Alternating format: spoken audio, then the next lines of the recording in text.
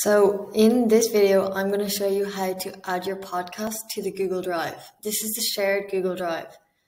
So I'm going to share the link with you and it will bring you to here where you'll see all of these folders and you're going to go into podcasts. So double click on that and you'll see producing your podcast. And then to add your own podcast, you're going to go into new, this big button up here that says new. Click on that and then go to file upload. And it will bring you to all of your all of your files. And you have to know where you saved your last your podcast. So i saved mine as anna's podcast in here.